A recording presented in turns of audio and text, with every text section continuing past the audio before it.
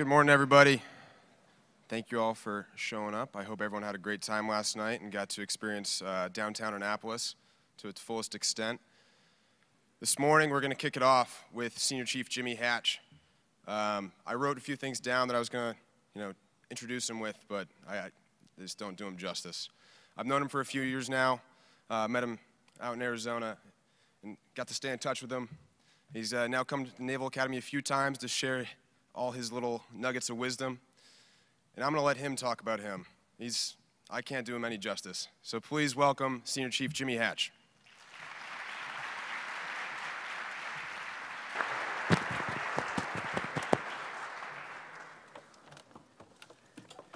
Is this mic working? Can you hear me? Yeah? Thanks, man. Appreciate it. This is Mina. Mina is my uh, kind of support dog, and she's been trained to attack anybody whose cell phone goes off. Just letting you know that right off the bat. Cool? Mina, off. Off. So, I'll, I'll, say a little bit about myself before I get started. I joined the military when I was 17 years old. I spent 25 years and 11 months uh, in the military, and I had a really good time. Um, I have a master's degree in cussing, which is inappropriate here. So I want you guys to know my struggle while I'm up here, okay? Yeah? Uh, I am extremely honored to be here for a lot of reasons, but the one that I want to make clear is that uh, the military was my family, and I learned um, some of the things that people from regular families would normally learn. I learned in the military, and I learned about different cultures uh, within the United States and throughout the world. I learned about uh, different people, and I found, even in all the combat I was involved with and, uh, and the craziness, that no matter where you're at, no matter what the shape of the roof of your church is, no matter what you like to eat for dinner, uh, the music you listen to, we're all a lot more similar than we are different. And uh, every time I get to come here, meet new people, uh, it just confirms my ideas. I was a SEAL, as mentioned. I'm the only SEAL that didn't shoot Osama bin Laden. but I'm not the only one that didn't write a book and that's going to be published in May. And it's really this story that I'm getting ready to tell you. Uh, all the Action Man stuff, the chest beating stuff, all that stuff is really um, for a certain type of audience that I don't really care to talk to. Uh, so if you want to hear that kind of stuff, I'm probably not going to give it to you today. Uh, there's definitely combat and Action Man stuff, but I'm, I'm going to lean on the human things that I learned and I saw in really extreme circumstances. Uh, so, the point of this speech is to let you know that we all have to kind of rely on each other and that everybody in here is a candidate uh, to be someone who needs help given the right circumstances, and everybody in here is a candidate to help somebody else out. And you don't have to have lived through gunfights been shot in the leg um, or been blown up to be capable of either of those things, right? Uh, I call this Touching the Dragon, which is coincidentally the name of my book. Um, I coined the phrase while I was in a mental hospital, and I'll get to that. May 2010, I walked uh, into my office. I grabbed a Glock uh, 45 caliber pistol. I walked out next to my trash cans because I didn't want to make a mess. I put the gun in my mouth, and I didn't pull the trigger because I don't know why. Uh, I know how to use guns. Uh, if I'd have wanted to been dead, I would have, I would have been dead. My wife took the gun away from me. And at that point, I started a different journey in life. But let's get there. uh, in 2009, I went on a mission to rescue a hostage, a volunteer hostage named Bowe Bergdahl. He decided to leave his base, and uh, for whatever reason, and I was part of a small mission, a special missions unit that uh, was predominantly busy with what we call capture kill missions or hostage rescue missions. Hostage rescue missions are really tough. I was a middle manager, so I had been in for a long time, so it just made sense that I was in charge of a few people. Um, the ground force commander was a, was a guy who graduated from this school. Uh, very good guy. Uh, I had a senior enlisted over me, and then I had about eight people that were directly under my supervision. We took off. Uh, it was not the kind of night that we would have liked to have gone out. In fact, we canceled a mission to capture a guy who was a very bad guy. We'd canceled a mission that night because the circumstances were horrible. Um, and I'll just use the word environmentals. We liked to set the stage. It was an away game for us every time, right? We weren't working in our neighborhood, we were working in the bad guy's neighborhood. So we wanted to try to uh, help ourselves out by picking the nights where the weather, the illumination, things like that would help us out. Well, it was really bad this night, but it was the only time that we'd gotten enough intel on where this uh, Sergeant Bergdahl, then Private First Class Bergdahl, where he was. So because he was an American and because we're Americans and because he's got a mom, uh, we knew that he'd walked off, but uh, there was a little bit of complaining, but it wasn't ever anything like, we're not going to go do it because he's an American, right? I didn't want to see him get his head cut off on YouTube, right? So we got on the helicopters and uh, we flew in to get him, and uh, it was an ugly fight. As soon as we got near the target, we started getting shot at pretty badly. Uh, we got off.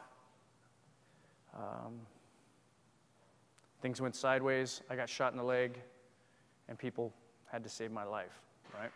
So, how did I get here? I went through uh, SEAL training the first time in uh, 1986.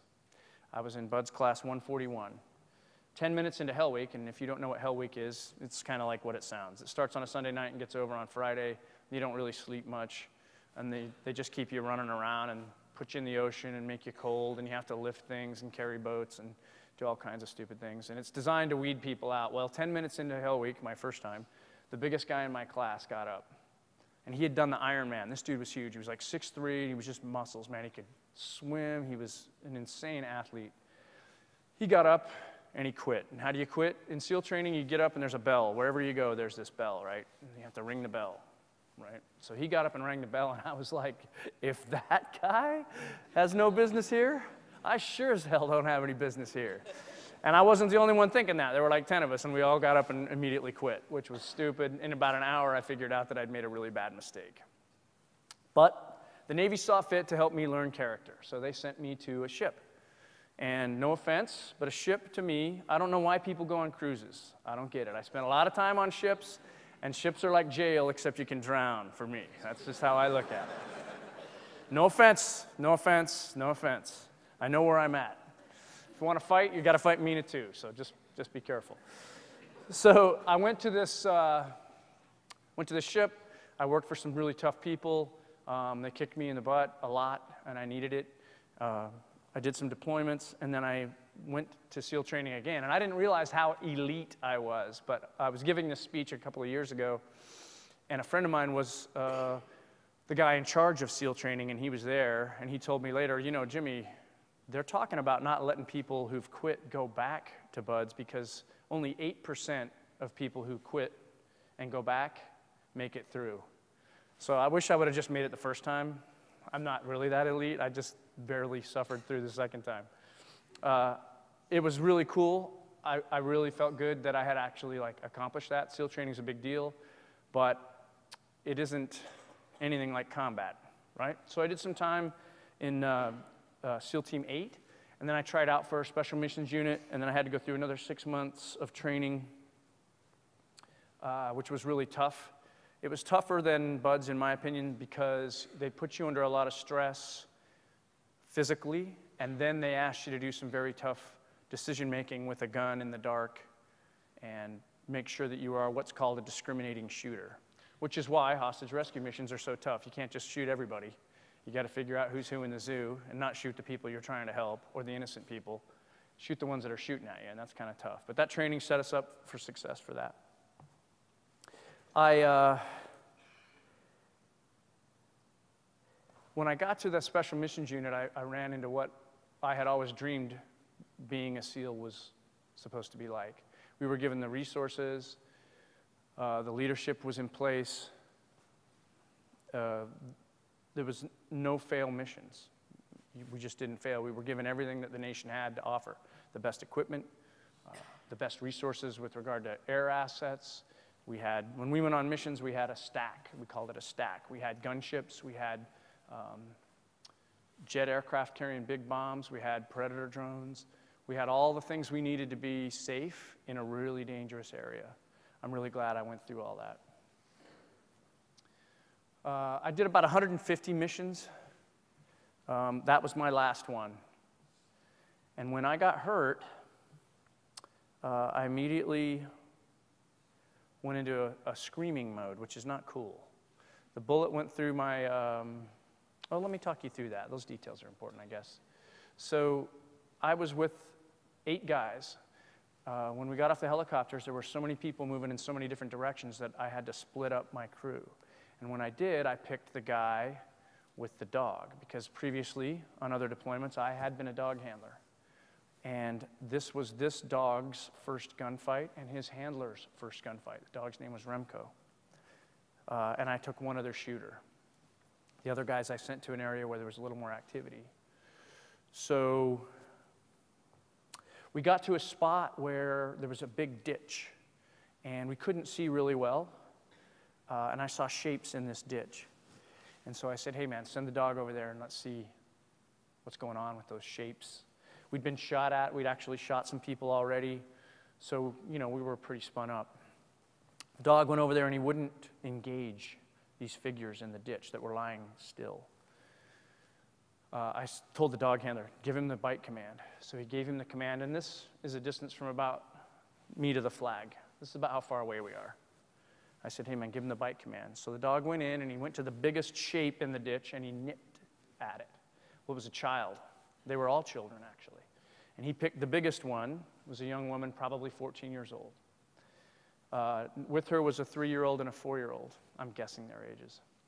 So I went over there, figured out that they weren't bad guys. I picked the, the little boy and the little girl up. I made them hold hands. I walked them out in the center of this field. I went back to get the young woman who was so scared that she was tucked into a fetal position. Uh, I can't imagine what was going on. You know, she, bombs going off, people shooting each other uh, planes flying around, people screaming, and then a dog bites her. Wasn't her night, you know? So uh, she couldn't move. Um, so I picked her up and I threw her over my shoulder, and I took her out in the center of the field where I had put those two little ones, and I threw, I threw chem lights. Uh, infrared chem lights around her, and I got on the radio and I, and I told the gunship, hey man, over the command net, I said, listen, those are these, I just marked this spot in this field, those are kids.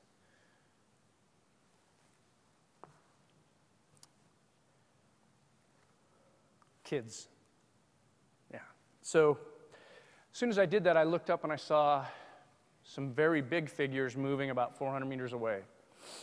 And they were clearly carrying some, some stuff. And I couldn't, didn't really have a good visual on them. Uh, I kept my eye on them. M- myself and the other two guys and the dog, we got together and lined up, and then they, those figures disappeared. And when they disappeared, um, in my mind, I thought, okay, let's just wait and see if they start moving again. But you can't wait very long in those situations. In my opinion, being aggressive, especially in gunfights, and life in general, really, when you let other people make the decision about the outcome of, this, of the situation that you're in, then you get to live with that outcome. If you make the choices in a gunfight, you force them to live with your choices. So we waited for a few seconds. I didn't see him get up, and we had to find him. In a hostage rescue mission, you have to eat, meaning you have to cover ground, you have to discover where people are and what's going on. So uh, we stood up, we started moving towards him. We put the dog Again, the dog's name was Remco out in front of us. He was about from me to Mina in front of us. And we were walking towards where I had last seen the shapes.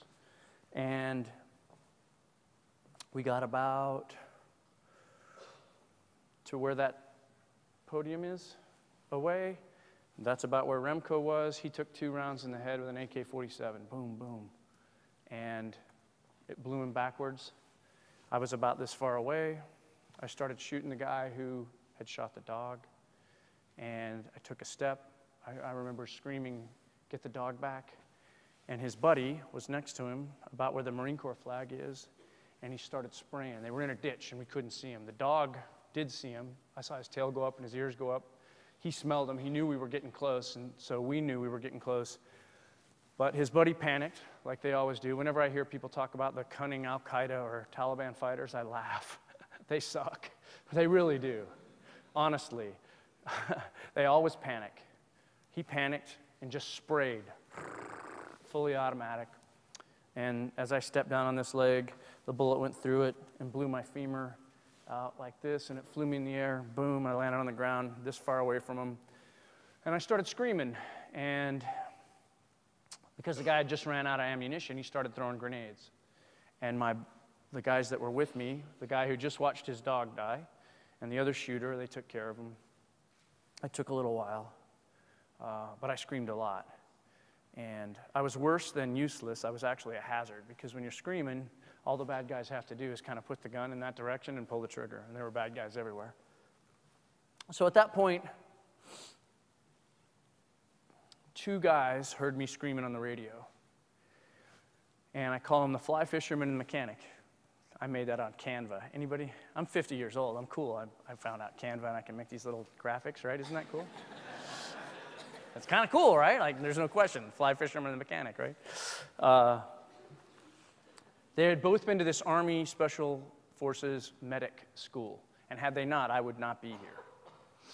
They had to cover ground, open ground in that gunfight to get to me. One guy actually had to shoot people, and I remember hearing him coming. We used suppressors on our guns, and I heard him. I heard him shooting people as he was coming towards us. So they got there. Um, the other shooter that was with me had to get the medevac on its way. The fly fisherman and the mechanic took over, uh, stopping me from bleeding to death.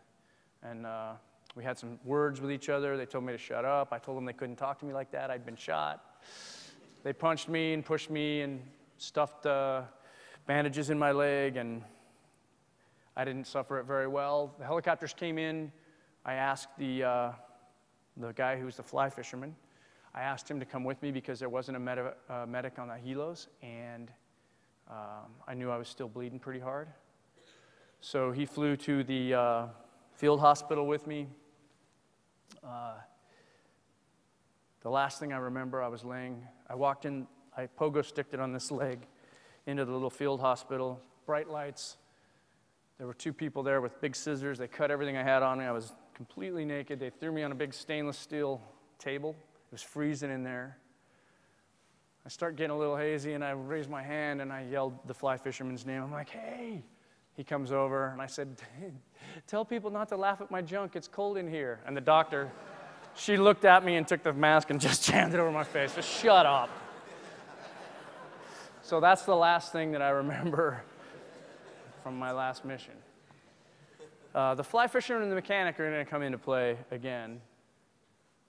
So, at the point where I had become wounded, I was then a spectator, right? I was useless, and I got to watch the people around me save me. and that was, um, initially, I didn't understand that I was going to be doing that for a long time. It was the gunfight that sat in my head. And because I could no longer be an action man, and I'd lived on this train where I was deploying, and when I came home, I was training to deploy again, and we just kept going. We call it a speeding train. I was on the train. I didn't have to think about things. I didn't let any of the bad things that I had experienced uh, catch up to me because I didn't have time for it. I had to keep going, right? I do speeches for police departments and, and, uh, and veterans groups, and this is not an uncommon phenomenon, right?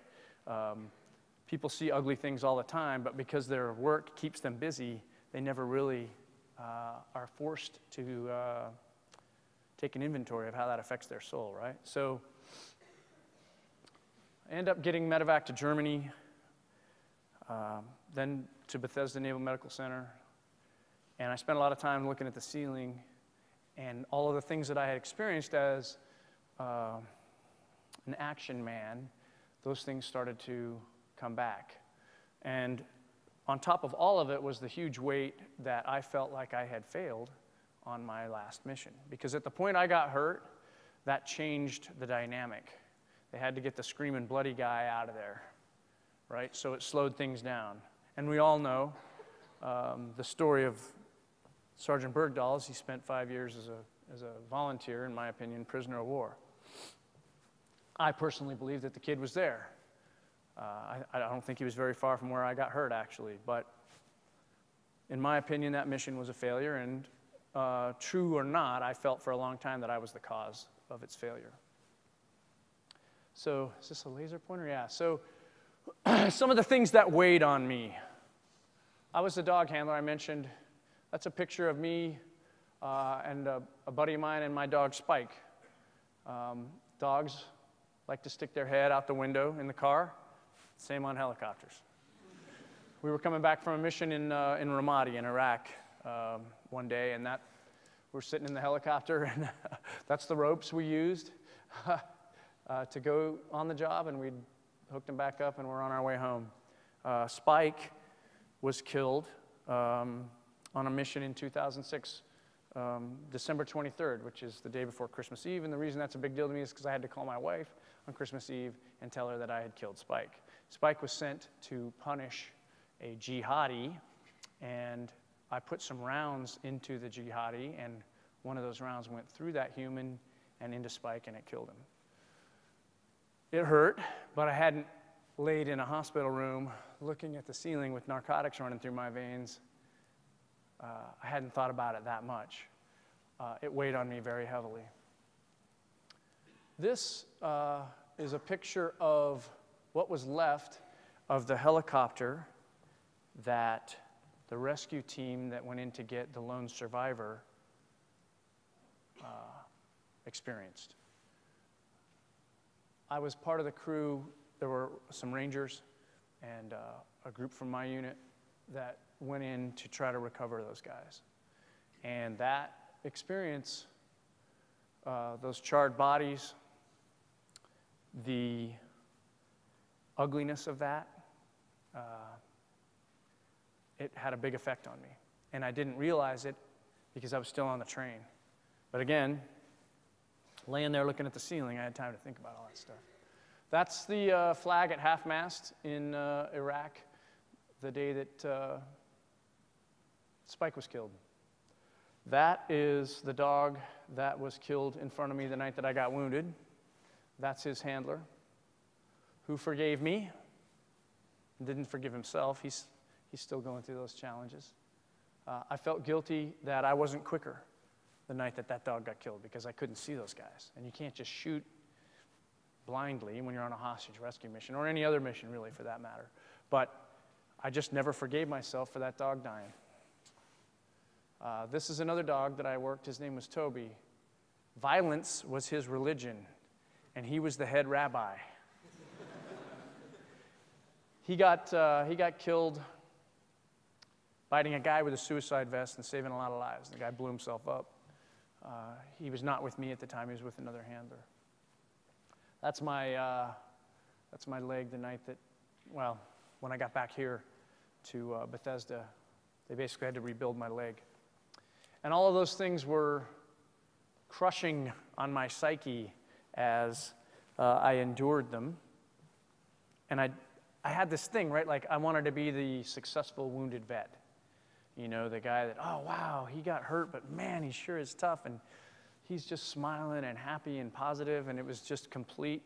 Again, I told you I have a master's degree in cussing, so I got to choose a different word for the one that I want to say. It was complete crap, right? In my, in my heart, I was crushed, and I felt like a failure, and I felt useless. I felt like my purpose in life was done, and I didn't really need to be here because I was just wasting oxygen. The best Master Chief I ever worked for said, In life, you're either an asset or a liability to your family, to your team, to the people you work with, whatever.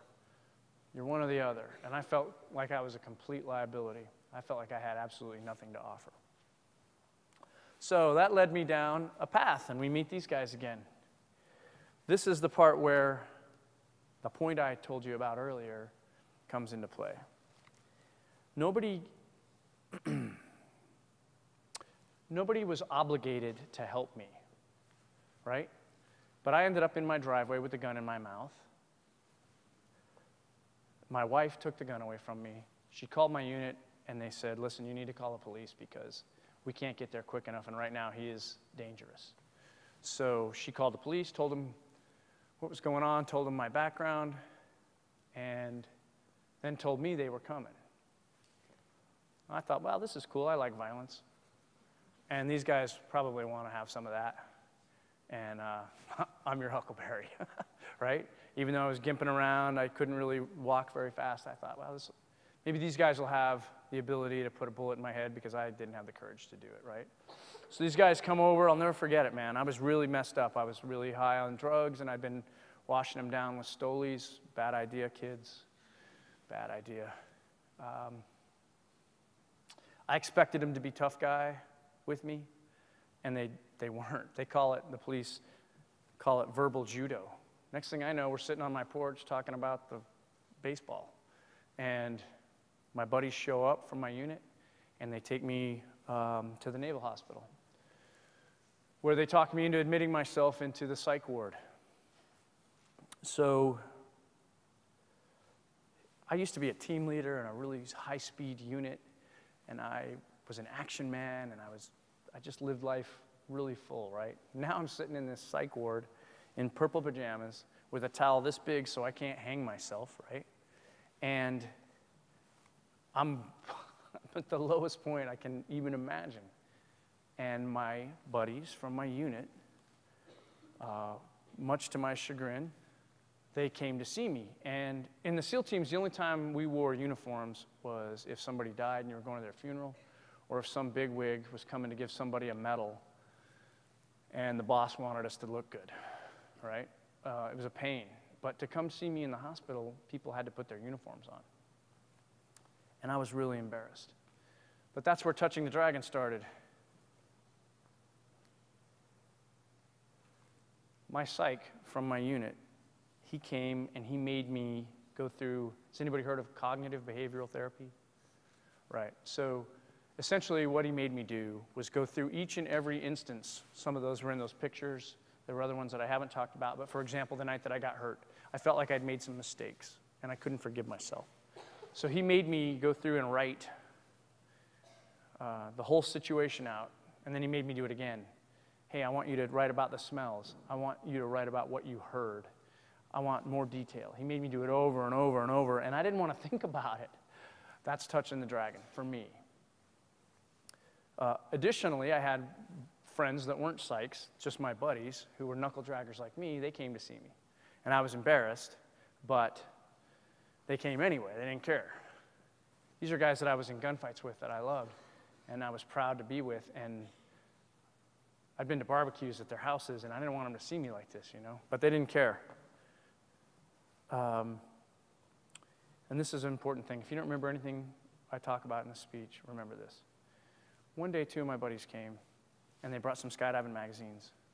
I'm a big skydiver, still, I still like skydiving. And they were sliding the magazines across the table to me, and I was grabbing it, and one of the people that worked in the psychiatric ward came over and said, Sir, I have to take that magazine away from you. And I said, Why? And he said, Well, there's staples in it, and you could hurt somebody with those. And I said, If you think I need staples to kill everybody in this place, you're the one that's crazy. Don't do that. D- don't do that ever. Don't threaten the staff in the psychiatric ward. Huh? You get to do what's called a penalty lap, right? You get to stay like an extra week and do more art therapy and get a shot that makes you not even able to really walk fast. You kind of walk like this. Don't do that, okay? If you don't remember anything else, just don't threaten the staff in the psych ward. Cool? While I was in there at Portsmouth Naval Hospital, my psych, the fly fisherman and the mechanic, and the leadership from my unit many of whom came to this place to get educated, were trying to figure out what to do with me. The, the people at the psychiatric ward were a little bit I think, intimidated by me, maybe because I threatened to kill him. I don't know. But they didn't feel like they had the tools there to help me. So people got together, uh, talked to some of the Army leadership in the special operations community, and they sent me to a civilian place uh, where I spent a little over four months. When it was time for me to be released from Portsmouth Naval Hospital, guess who came to get me? the fly fisherman. Same guy who rode the helicopter to the medevac, the medevac with me to get me to the field hospital. And you don't get medals for taking your buddy to a psych hospital. There's no honor in it. It's just because you love each other, right? It's because you care. Uh, we get to this psych hospital. Well, we flew commercially. We get to the airport. We rent a car. Um, we drive up to this place. I have my little duffel bag with my stuff in it. And this lady's going through it like I'm some kind of a heroin dealer or something, you know, like looking at my, checking on my toothbrush and all this stuff. And I looked at the fly fisherman and I said, hey man, I'm, I'm not doing this. I'm running. I'm not, I'm not doing this. And he said, well, listen, man, you can't really run anymore, which is true, but he didn't have to tell me that. And he said, and you need to do this. You need to do this for yourself you need to do it for your family, and you need to do it for the rest of us that are coming down the tracks. And he was right. But at that time, all I knew was that this guy had saved my life. And when people save your life, you owe them a couple things. One, you can't disrespect them. And two, you got to live your life full because they risked theirs so you could have one, right? Which is why I'm standing here today. and so I said, okay. I went into this little hospital thinking, okay, it's civilians. What do they know about me? I've been through so much. I'm this, you know, I'm this guy who's been in gunfights and been blown up and uh, seen all this ugliness. Well, it was a, it was a, it was really a blessing for me that I went to this civilian hospital because I learned a very good point. And this is exactly how I learned it. We were in a group session, right? So men and women. And this was probably after I'd been in there about a month. And we were talking, I can't even remember the exact subject, but it was basically touching the dragon. Things in your life that made you get to the point where you now are in this hospital. The things that really were difficult for you. And there was a woman sitting across in the group. She was probably 30 years old. And she said, she was crying a little bit. She said, on Christmas Eve, when I was 11 years old, two of my uncles raped me in front of my dad. They were drunk. Exactly. So here I am, Mr. Action Man, got shot in the leg on a mission, doing what I loved to do and had volunteered to do with people that I loved, and I'm feeling sorry for myself. What does this young woman think every year? Hey, Merry Christmas. What does that mean to her? And here she was, man, in there like Mike Tyson, swinging, trying to get through it, trying to push through it, touching the dragon. She was getting it. And that changed. She kicked me in the chest, and I thank her every single day, man. I've never seen her again. I don't remember her name. Amazing. It gave me perspective. I would not have gotten that sitting in a group of tough guys like myself, right? That was the biggest blessing I had in my dragon touching adventure. I got out of that hospital. I came home. Oh, before I got out of the hospital, the mechanic came to visit me. And they took me to lunch. and, and I was, I always had this thing when we were overseas, the vehicles we had, the windshields had to be like spotless. Because you know, you're, you're looking through those toilet paper tubes, night vision. And if there's like things on the window, it's really, a, it's just a bother. So he comes down to take me to lunch, and I get in the car with him, the rental car, and there's bugs all over the windshield. And I'm like, he goes, I know, I'll clean the windshield. so, I got out of the hospital. I got out of the Navy. I retired. I didn't really know what to do with myself. I went to the police department where the guys had come to my house. And I said, hey, listen, my name's Jimmy Hatch. I was a dog guy in the SEAL teams and I'd like to help you guys out. And they're like, oh, yeah, we know who you are. uh, but they'd let me help them. They let me help their canine guys. They kind of put me under their arm and they said, hey, you know, great. So I wore the bite suit. Can't move really fast, but I can take some hits from a dog. I like it. I like violence, and that's like controlled violence. It's really cool. And while I was there, one of the dogs needed a medical procedure that the city said we can't pay for it. The cop, who was the handler for that dog, was despondent. And I said, Man, I gotta, I gotta help him out somehow. So I took a picture of me and Spike, my first dog, that picture, and which is, by the way, the cover of the book that's coming out. The, I made, I've made friends with a 12 year old who knew how to do Photoshop, and we, and we made this logo. And I put the logo on some sweatshirts, and I got on Facebook, and I said, Hey, I'm selling these to make money for a dog that needs a surgery. Turns out people really like dogs. And I made a lot of money. And I could pay for that dog to get the surgery that it needed and for the officer to drive. He had to go to NC State, great college. He had to go to NC State because they have a great veterinary program and they did the surgery. I had money left over and I realized that I had my mission. So I started this thing called Spike's K9 Fund. And each one of these stars is, uh, represents a dog that I was with that was killed in combat. Again, that's a picture of me and Spike. Uh, I started giving speeches like this. I actually went up and gave a speech to the Boston Fire Department. And after I left there, I got a message from the guy who had invited me to speak. And he said, Two of the guys in there got up and, and asked to go get help after you left, asked their boss. And I was like, Awesome. And he said, You should write a book. So I did. I got this friend, he went to Harvard and Oxford, and he's won like these essay contests. And he's a really good writer. I did stuff in crayon, and he helped me write this book. and it's essentially the story that I just told you. There's a little more detail here and there. Um, my friend is brilliant. The book is really good. It's re- going to be released in May, and I'll be famous for a few minutes, which will be cool because it'll help me make money to do this. And hopefully, the book helps people realize that even if you have been through the best training the military can give you, you're still going to suffer, and you're still going to need help, and you're still going to need to help each other out. That's my point. But I think I make my best money when I answer questions. So, um, if you don't mind, ask away. You can ask me anything. If it's something that's classified that might put my buddies in danger, I probably won't answer it. I'd rather get shot again than talk about politics, but hell, if that's what you want to talk about, we'll do it. Honestly, you can ask me anything. You can ask me about the SEAL teams, you can ask me about psychiatric hospitals, you can ask me about dogs, anything. Yes, sir.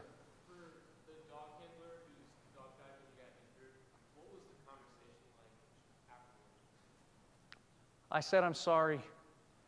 Um, we still, we still are a little bit, um, I still feel bad around him. We, have, we were both at the trial when Sergeant Bergdahl had his uh, trial, his court martial down at Fort Bragg. And he doesn't, he doesn't um, hold anything against me, and I don't hold anything against him. I just feel bad. And we both just agree that it was a tragic thing. That answer it? Come on. And you know what? If you got a question that's going through your head and you're not really sure that it's a good one, ask it anyway because I promise you in the after party when we get done, people, somebody's going to come up to me and ask it. Yes?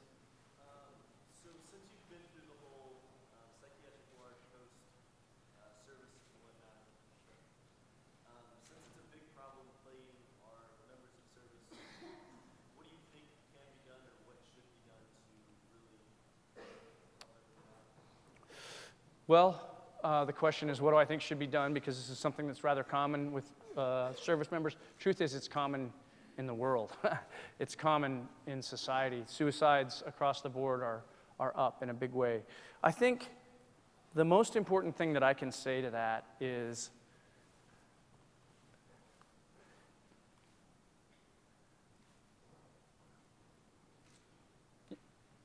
it's easy to say, I love you, right? It's entirely different to say, hey man, I think you need some help. That's love. We say stigma. I call that cowardice. That's really what it is. I was afraid to tell people that I was really hurting. I have been afraid in the past, not anymore, I promise, to go to my buddies and say, hey man, you're coming to work and I can, you're breathing zoo. I can tell you're still liquored up. What's going on? Right? Because I didn't want to, you know, I didn't want to make anybody uncomfortable. That's all that is. Stigma equals cowardice, right? So I think it's just a matter of being invested in other people's lives. And I think for me, because I learned the hard way, and that's the only way I can learn really, is had those people not shown me that they love me, I don't know that I ever would have gotten to a point where I thought I actually had something to offer. So sometimes I think in depression, at least with me, it's so selfish. All you can see is yourself and the things that you've failed at, and oh, woe is me. But you, you don't know that at the time because that's, it's so, it's, it's horrible. Having somebody come in and pun- puncture that little sphere of hate that you're kind of wallowing in is really important. I, I just think it's a matter of being invested in the people that you are with. Really invested. Not like Instagram friends, you know.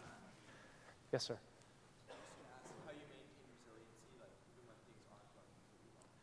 How do I maintain resiliency? Yeah, resiliency is probably the most overused word in the English language right now, but I'm trying to think of a better one. I think I'll use courage. How do I have the courage to say, hey, man, I'm going to keep going, right? I think for me, it's twofold. I'm really lucky because I had people risk their lives to save mine, and so I have an, uh, a little bit of a responsibility, right? Um, but the truth is, I believe all of us probably can reflect and say, man, uh, there have been people in my life that extended themselves to help me get to where I'm at. And because they have done that, I have an obligation to do something with what I've been given. So, so I still struggle, man. I still struggle. I struggle. I was sitting here talking to uh, my young host about how I got to kind of get up here and throw my guts out. I call it wearing my ass for a hat. You know, I talk about all the, the silly things that I did. Oh, I cussed. Dang it. It's. Uh, it's hard, and it, and it takes, it takes it out of me a little bit, you know, but I kind of have to, you know.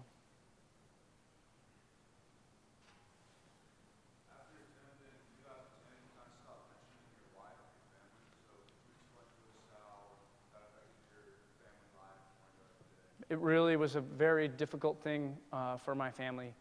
Uh, my wife was had to be strong during um, all of my deployments and then the aftermath of me getting wounded and after I got myself to a point where I was where she felt confident that I could conduct myself like a decent human being, she broke down, man. And she started having panic attacks and it she was so strong, but crushed her.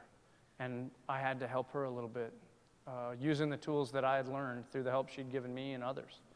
Uh, it, it was very difficult. And the guilt that I felt for creating that situation was significant as well. But I couldn't, I had to put that in the back seat while we figured out how to help each other, you know. Um, and that's an ongoing process, as is any relationship. Um, but when you go through those types of things together, it creates a super strong bond. Uh, it just takes a lot of work. It's hard.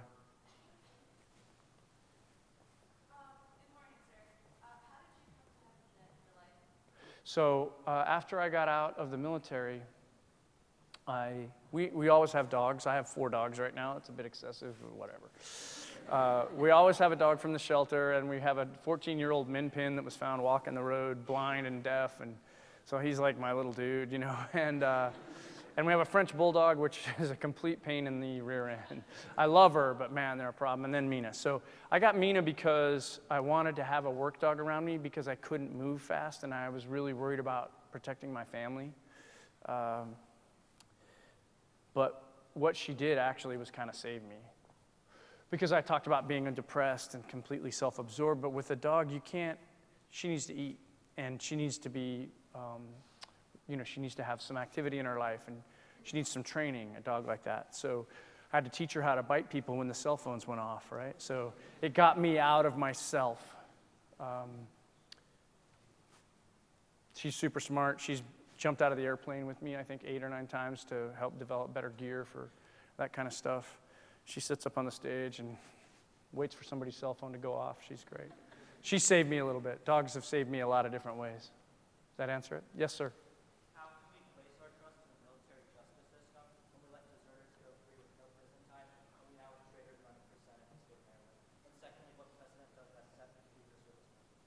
So I'm going to try to answer it um, clearly. I don't. I really struggled with the Bergdahl, the whole experience, but I came to a point where I realized that I didn't have all the facts, and I know the intel that we had that led us up to going on that mission, and what I had experienced through that intel was horrible. He was not being treated very well. Um, and I'm not the judge, I'm not the JAG. I didn't get to see all of the documentation and all of the conversations and all of the proof in that case. So I do trust the, the justice system. I don't know what the long term effects of that will be. I don't think anybody in their right mind thinks that it's okay to walk off. Um,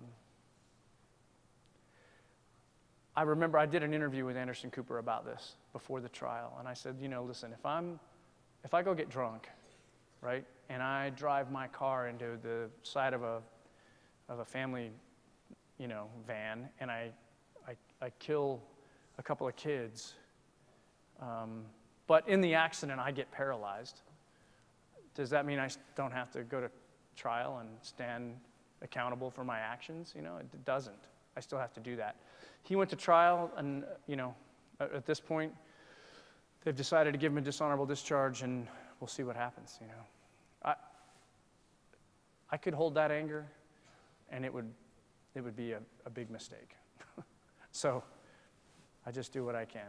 I, I hang out with Mina, and I write books.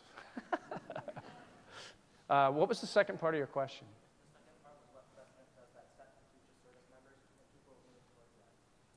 Yeah, I, I don't know what the precedent is. I'm sure that uh, I'm sure that it has created some conversations. I don't know what the I don't know what the precedent will be. Yep. Uh, Yes, what would you say to uh, people, you know, who may be thinking about getting on this train you talk about, and um, how would you recommend they stay ahead of the curve and stay healthy even as they're doing uh, some tough things? That's a, that's a good question, man. Uh,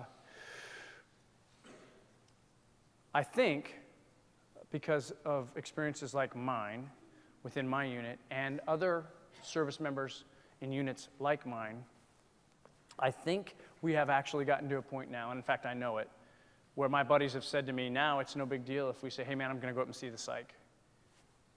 When they come back from deployment, they just do it voluntarily. They check in. That's the key.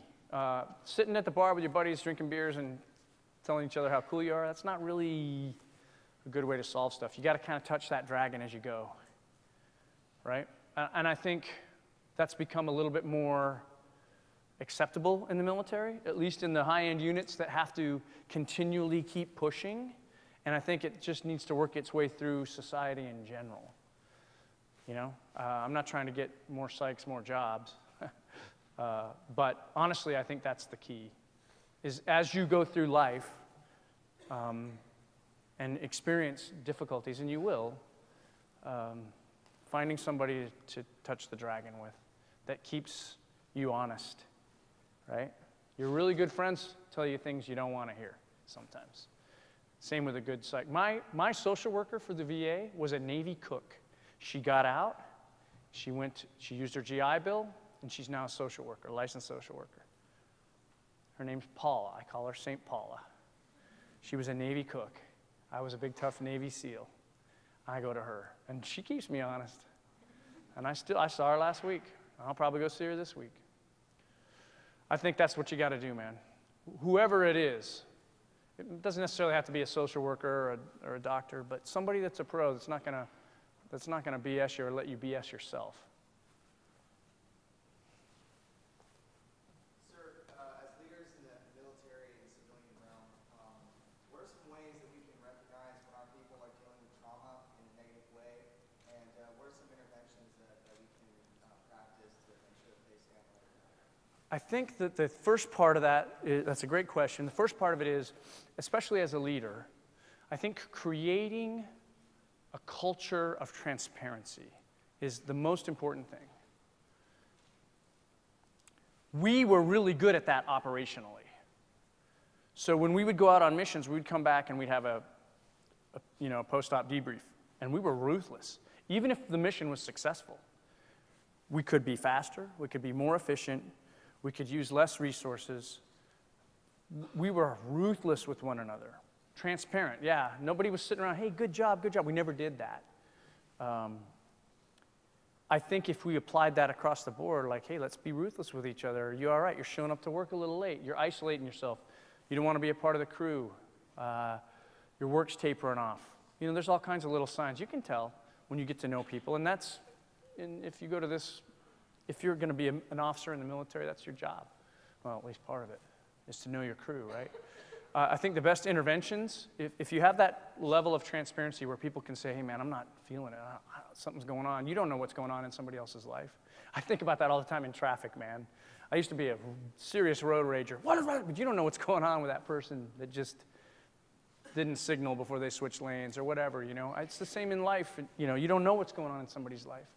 You might think you do, but you don't. I think also getting past the stigma or the cowardice of making people experience discomfort. Hey man, let's sit down. I mean, do it in a professional way, right? Like, hey, come on, let's let's sit down and chat. I'm seeing this. Is, is everything all right? Like, if people genuinely believe that you really care, that's a big deal. Does that answer it?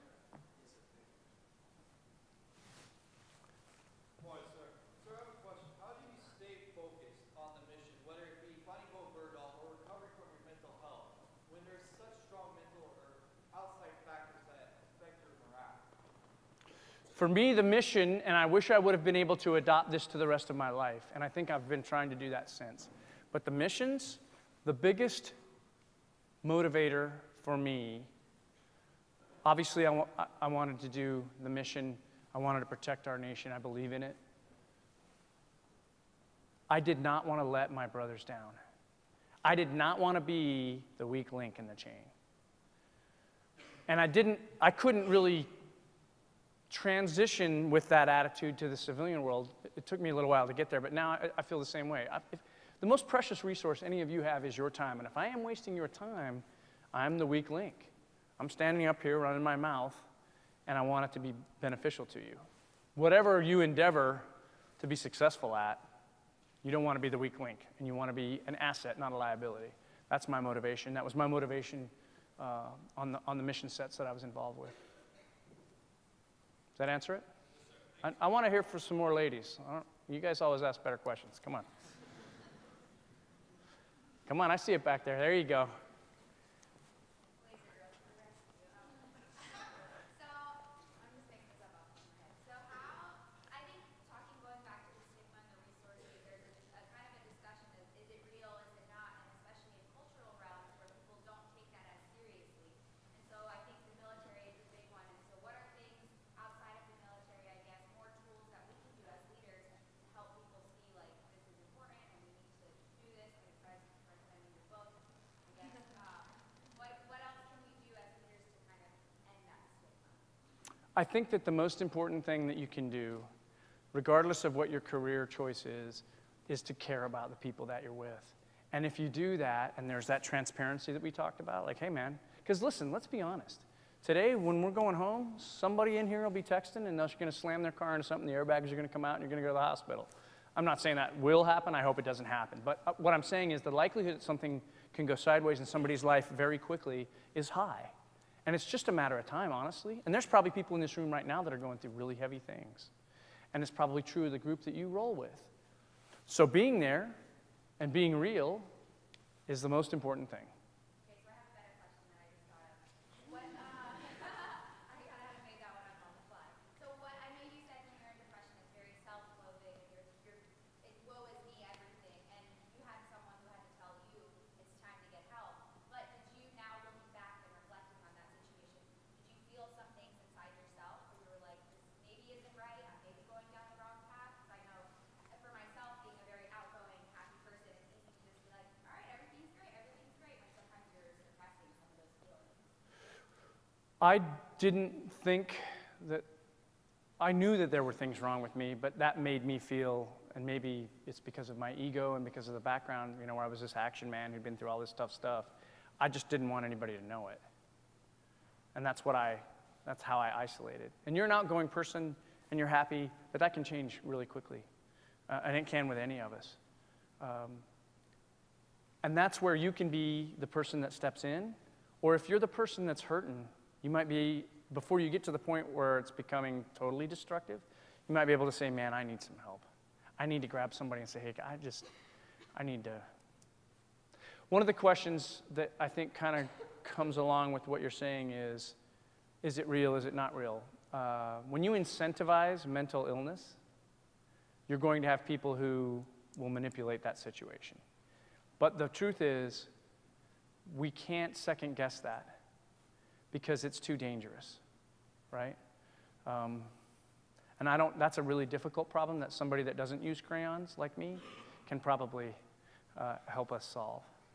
Well, I'll just say from personal experience, if you have a counseling center at your university, take advantage of it. I found a community of mine at my university recently. and- They have those?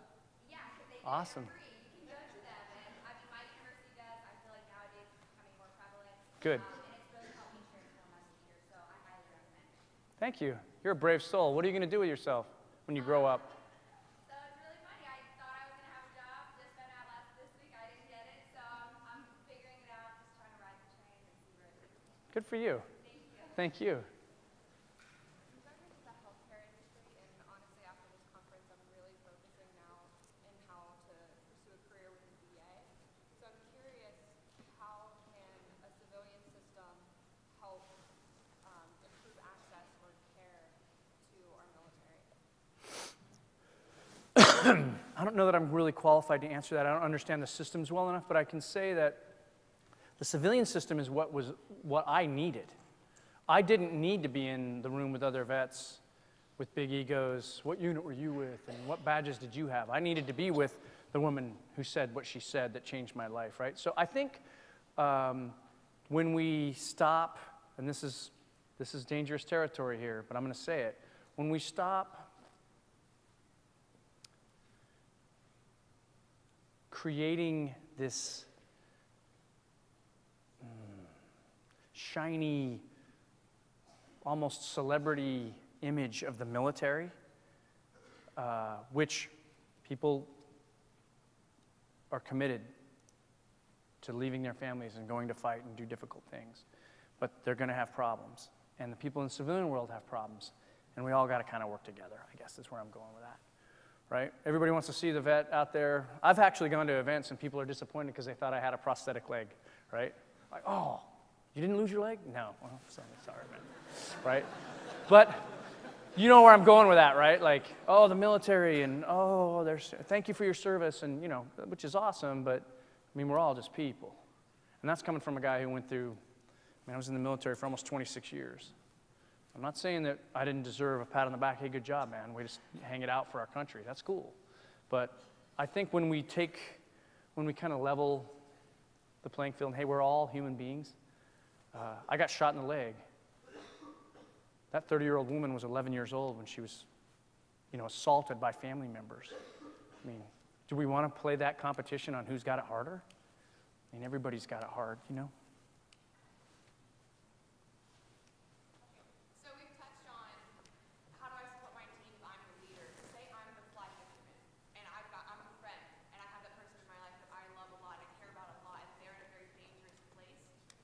How can you support them in a safe way when you have the simultaneous fear that if I say the wrong thing and something happens, I could be blaming myself? How how did your friends best help you? How could we help someone as a friend? Set the stage. While I was in the, the initial psychiatric center where I had made the threats, they were working on what they were going to do with me. Set the stage for that. I was in a controlled environment so that I couldn't really hurt myself. They were forcing me to touch the dragon, and they set the stage for the intervention, so to speak. I think, you know, the more people you can get on board, the better. Makes sense? We good, Evan? Do I need to shut up? Yeah, one more question. So you use the word ruthless to describe like your debrief period with your team after missions. Yeah. So um,